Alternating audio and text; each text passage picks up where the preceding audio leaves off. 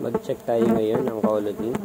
So, minsan yung kanyang flight tube ay hindi sukatan kung ito ba ay malakas or mahina na colony. So, ito lang yung kanyang unahan.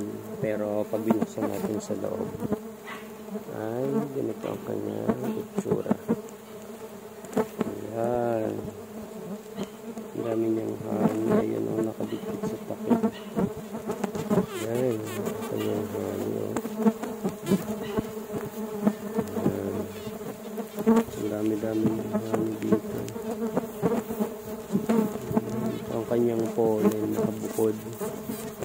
So, kung mapapansin natin, na dito sa parting ito yung kanyang pollen. Kapag ganyan, ayan oh, uh, hindi pa sarado, ibig sabihin hindi pa puno. Kapag napuno, natatakpan nila yung mga butas-butas niyan. Pero in this case, ayan oh, nakabukod. Ito ang lahat ang kanyang honey. Tapos ito yung kanyang pollen. Yun, may kasama din konting honey. Tapos sa takip, ayan o, oh, ang dami.